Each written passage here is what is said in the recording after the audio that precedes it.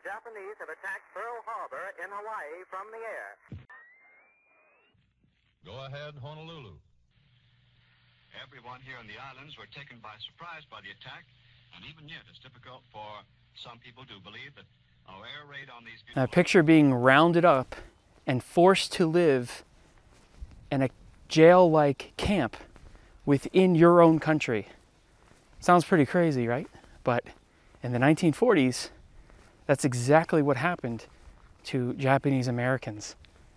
So I've come to Jerome, Idaho, to the old Minidoka camp, which was one of 10 US government built camps meant to hold Japanese Americans during World War II.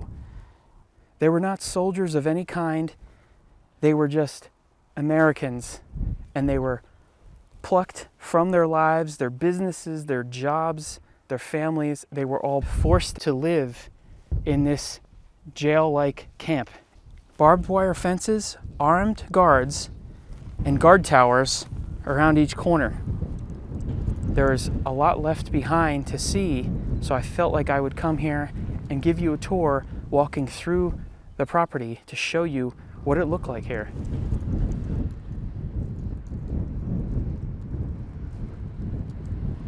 This is the original guard shack to the camp. The foundation and its walls are still here. Very small in here. Now this outer part here also had a roof over it, so probably was a lot bigger than it seems now.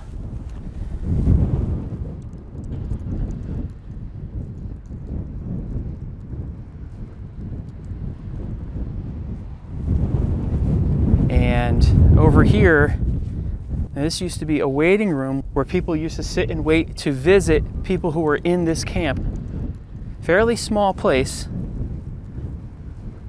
for a camp that had thousands of people staying in there. So there are some active restoration projects going on here throughout the property. Uh, one of which is this reconstruction of this guard tower. Originally there were seven of these all around the huge property that made up the camp. And I can only imagine how scary it must have been being watched by armed guards from these towers. So if this was back in the 1940s, there would have been buildings all over here. The actual site was something like 33,000 acres, but most of the buildings were squeezed into like a 946 acre area.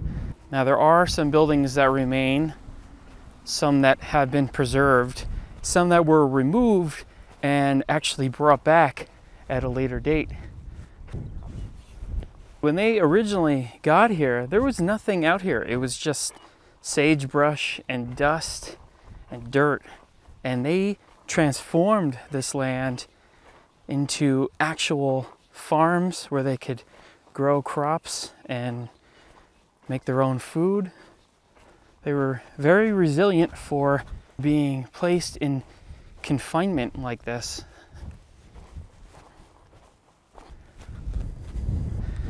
So I believe this is one of two fire stations that were located inside the camp.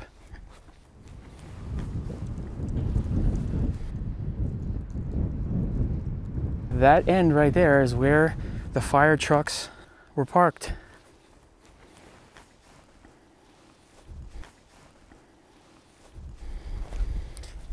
So remembering that there was 33,000 acres here and thousands of, of people here, there was a lot of potential for fires. So it was good that they had two fire stations here.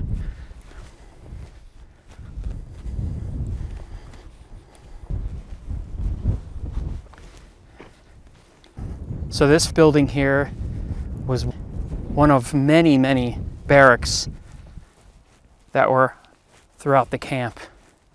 And everything is all locked up. But we can take a look inside and see what it looked like. Obviously, it's in very different condition than it was back then.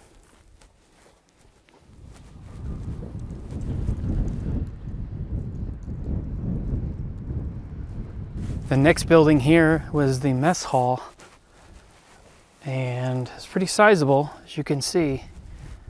Just that basic wood with tar paper covering it.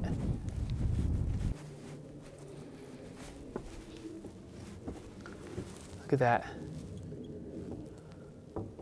It's hard to see in there, but it gives you an idea.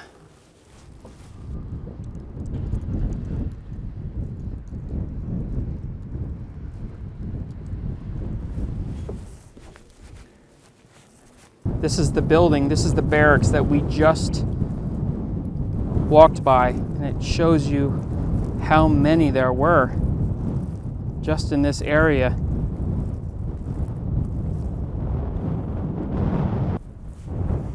Minidoka became Idaho's seventh largest city, called Hunt, after its postal designation, with a peak population of 9,397 internees here. By 1944, the camp operated much like a small, sufficient city, powered by the sweat and ingenuity of the Japanese Americans confined here. The camp grew much of its own food, had a 196 bed hospital, an internal police force, a library, two elementary schools, a junior high school, and a high school with 1,225 students. They had barber shops, watch repair shops, fish markets, Boy Scouts, Girl Scouts, movies, art exhibitions. They truly made it as normal as they possibly could here. So down below me is a recreation of what once was a baseball field. Baseball was very popular in a sense of normalcy, and um, they took it very seriously. It was a way to take a break from being incarcerated like this, and they got pretty into it. In fact, even teams from outside of the gates, from outside of this camp, would come and, and, and compete and play games with them. So it was very important for them and uh, pretty nice that they recreated this so we can see what it looked like.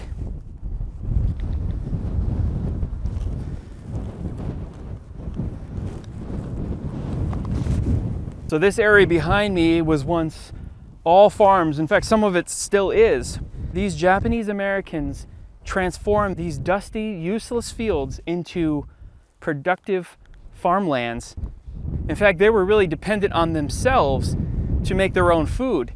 This huge root cellar up ahead here is what stored all that food. So this root cellar was very vital for the winter and throughout the year. In 1943, internee farmers produced 979,000 pounds of potatoes, 79,000 pounds of carrots, and 101,000 pounds of cabbage. All cold storage crops were stored here until it was needed. I can show you from the side here. That's a good look in there now. You can see the construction of it. Quite sizable inside.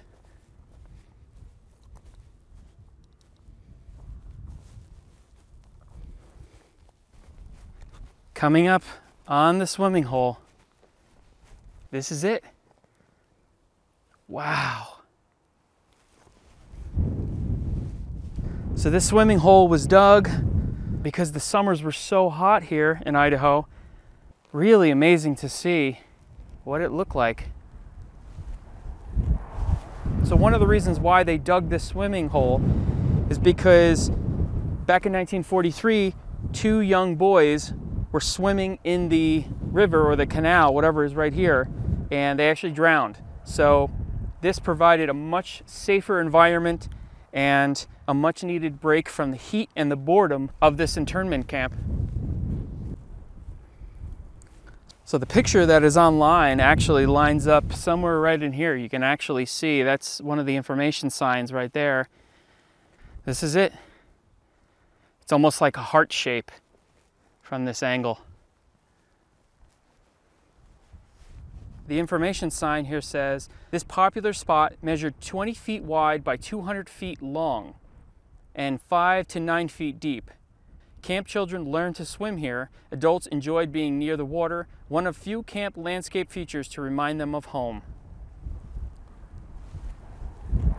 It's really hard to imagine people walking around in here, kids playing, people working, eating, playing baseball.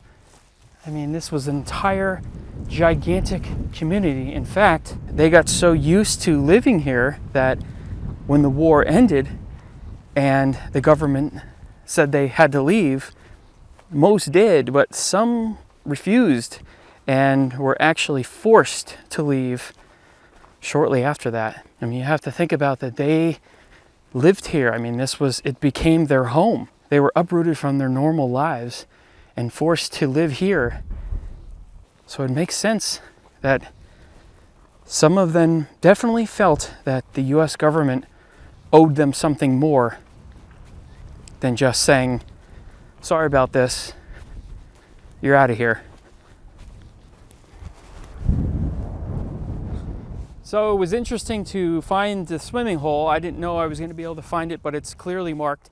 So if you come out here, you will be able to see all the different places that I just took you to for yourself. In fact, since it is an ongoing restoration site, in a few years there may be even more to see. But the history definitely never changes. Uh, it's definitely a, a dark part of our American history here. But I uh, hope you liked it. Um, I feel like a lot of people maybe didn't even know about this, so maybe I brought that to your attention and uh, maybe you learned something new today. I know I definitely did. So thanks for watching, and I'll see you in the next video.